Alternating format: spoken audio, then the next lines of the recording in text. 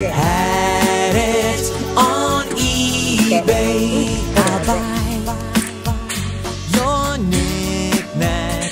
Just check my feedback. A plus plus.